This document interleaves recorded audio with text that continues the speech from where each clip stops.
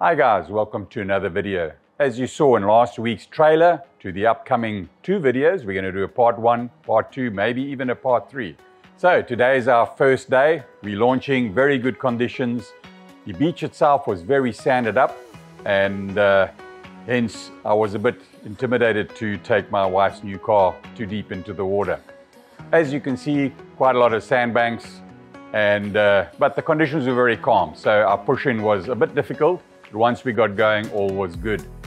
Once we got out, we saw a lot of bait activity. This is the middle of our sardine season, and we actually tried to catch a few to see what there was in the water. And we actually caught a red eye sardine. It's not the famous Natal sardine, which everybody knows of during our sardine run, but there was so much activity, a lot of birds diving, and different species of dolphin all over the place. The commons were extremely spread out and very active jumping around the boat.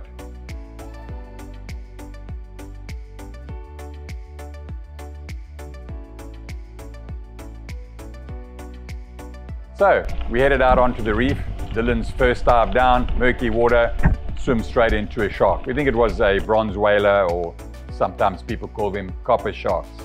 So Dylan's next dive with our soon to be launched three band gun. The specific one was a 90 Timberline with an 8 mil spear.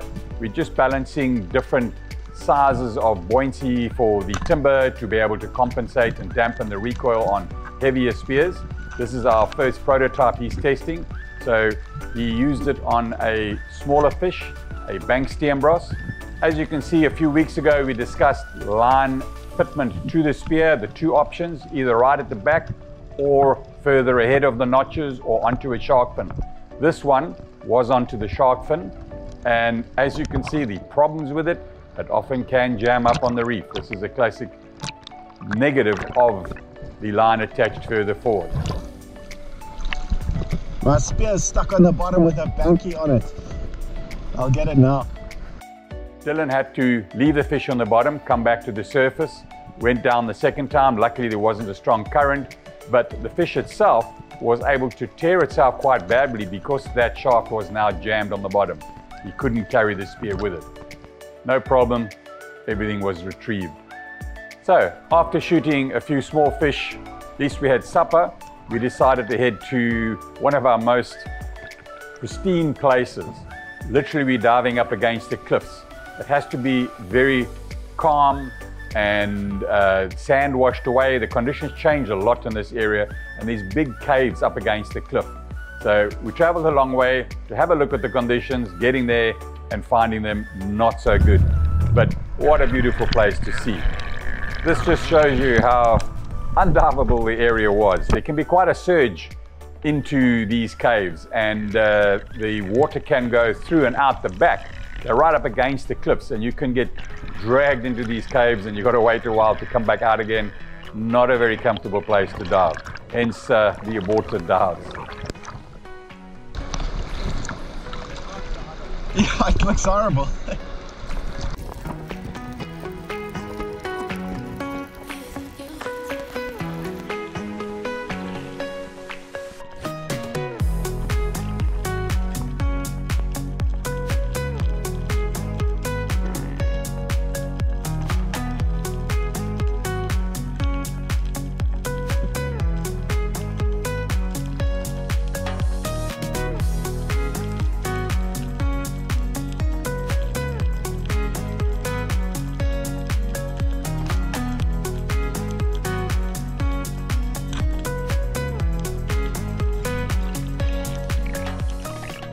Yeah, guys, we just got back in time. A big downpour. Might have got wet after a day's diving. The first day was a long day. We traveled a long way to get in. Everybody was tired. Woke up in the morning on the second day to a lot of rain and decided to do a crayfish dive at low tide. So the guys swam in, saw a few, caught a few. Being in the shallows, there's quite a lot of uh, crayfish diving in the area, so there's not that much around as you can see what the guys got.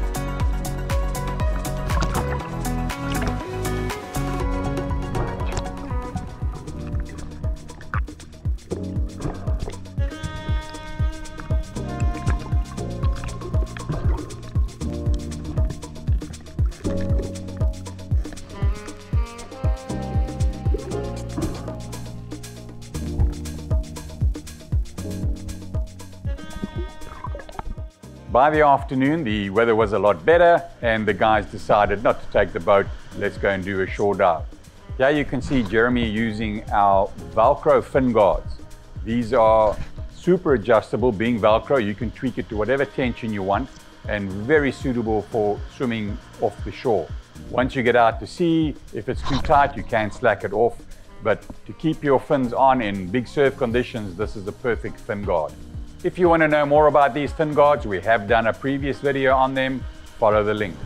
When entering the water on a shore dive, especially if there's big surges, it's a good idea to walk backwards. That force of water coming up the beach can fold your fins over very badly and stress them way beyond what they should be stressed. It's always a good idea to go in reverse, but on a steep beach, you may have a reverse flush back. Immediately pivot around if that's necessary to make sure, again, it doesn't bend the fins over. So here you can see Dylan prepping to get in. Unfortunately, one of the do not do's is leave your gun on the sand when a wave washes up and down. It can fill the cassette with fine grit, which can affect the way the mechanism works. Not a good idea to leave it on the ground. The float line you see behind him, he has shortened it by wrapping up two hanks. We do have a video showing how to do this. It's very good idea to keep your float line short while swimming out. If you have a lot of line around and you're swimming between the rocks, this can easily get tangled up you'll now have to return back to the beach to try and undo all the rope. Once you're out, you can undo one or both hanks, very easy to do, and adjust your line accordingly so that you can dive the appropriate depth. It's a good idea to keep those lines not too long, especially if you're diving right on backline. Your float can get still get stuck on the rocks by being pushed inshore by the waves.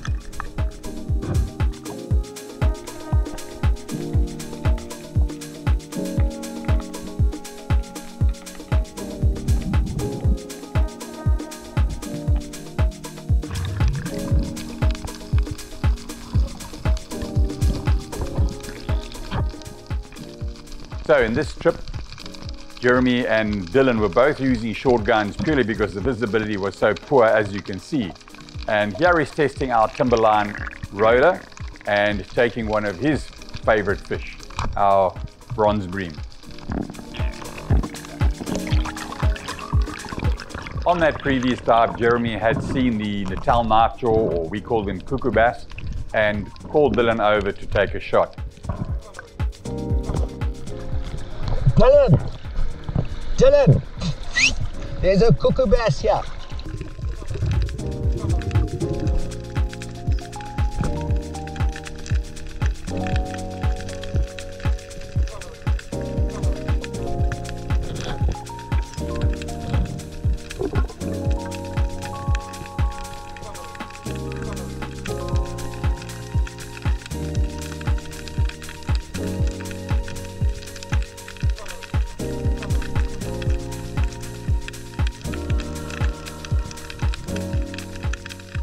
As you can see, first option, safety on.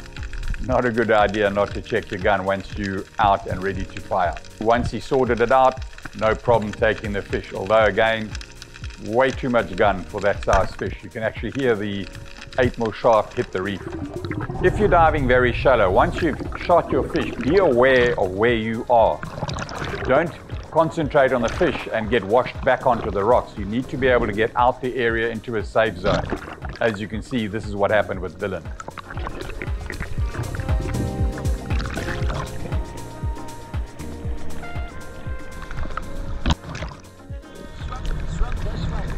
Yeah.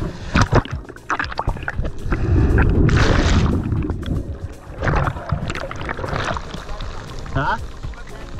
Yeah. Jeremy was lucky to find a GT, or we call them giant trevally, kingfish in the shallows. Not a big one. This size is the much better eating.